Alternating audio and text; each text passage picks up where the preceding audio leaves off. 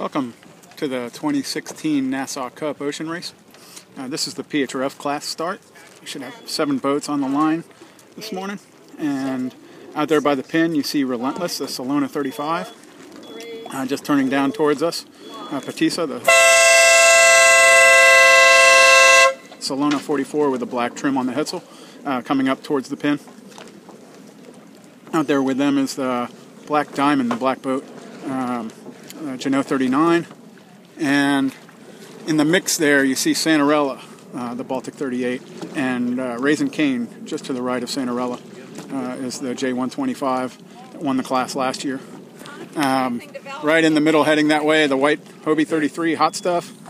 And coming right at us is the Farr 395 Sonara. Right here, 30 seconds to the start.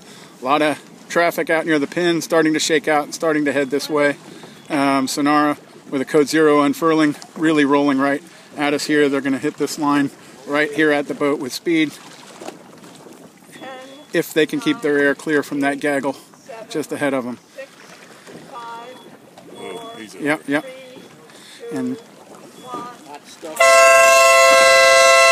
and hot stuff is over. Uh,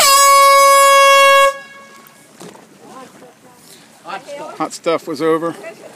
Uh, Santarella with a nice start out there on the pin. Um, nice speed build here on Sonara. Clear air and really rumbling here. Putting the bow down and really getting the boat going and leaving everybody else behind. Tell me when to drop it. Wait up.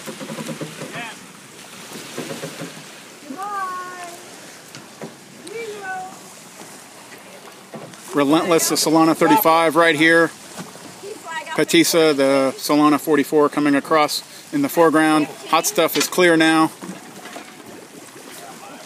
And looking out towards the pin, you have uh, Black Diamond and Santarella. Uh, Raising Cane out there on the same line uh, between those two. And that's your PHRF start. I'm going to go ahead and sign off and we'll bring you back on for the crowded multihull start.